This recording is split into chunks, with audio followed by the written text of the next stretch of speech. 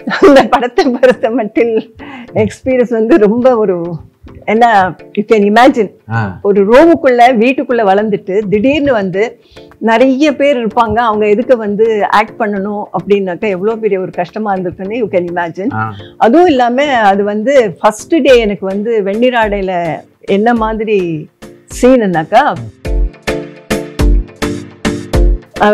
Makeup போட்டுட்டு வர்றதை பார்த்துட்டு. என் பின்னாடி அவருடைய மேனேஜரை அனுப்பி. வீடு எங்க இருக்குன்னு பார்த்து வச்சுட்டு அப்புறம் அவரே வந்து கேட்டார் நடிக்கிறது அப்படின்ட்டு. நான் சொன்னேன் இல்ல நான் மாட்டேன் அப்படின்ட்டு.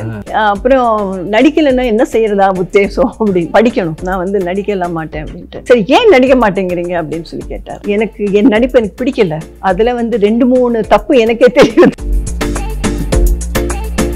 ஷூட்டிங் ஸ்பாட்ல வந்து இந்த கேமராவுக்கு சைடுல வந்து மூணு அசிஸ்டன்ட் டைரக்டர்ஸ் இருப்பாங்க. அவங்க வந்து இப்படியே காட்டுவாங்க. அப்படி காட்டினாங்கன்னாக்கா உதடு வரக்கூடாது நடக்க கூடாது அப்படிங்கறத ஞாபகப்படுத்துறதுக்கு. இன்னொருத்தர் வந்து கூன் கொஞ்சம் வந்தாக்கா இப்படி காட்டுவாரு. ஓ நிமிர்ந்து.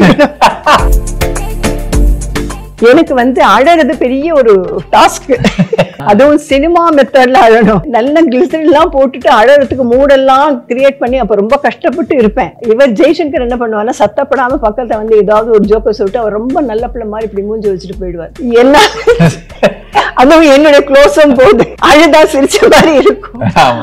டைரக்டர் சொல்லார் மூஞ்சி ஒரு சின்ன சிரிப்பு இருக்கு. அதை மாத்துங்க அதை மாத்துங்க. எங்க இருக்கு சின்ன சிரிப்பு எப்படியே மாத்துறது. எங்க வீட்ல எப்படின்னாக்கா மூணு மாடிப்படி இருக்கும். எல்லாமே உடன். அது பெருச்சாலியோ எலியோ ஒண்ணு ஆரம்பிக்கும். மேல் மாடியில ஆரம்பிக்கும். தம் தம் ஒரு ஒரு படியா குதிச்சு குதிச்சு குதிச்சு குதிச்சு கீழே வந்து லேண்ட் ஆகுறதுக்குள்ள பொழுது விடிஞ்சிரும். இதெல்லாம் சத்தம் கேட்டாக்க எனக்கு பேய் வருதா? பிசாசு வருதா?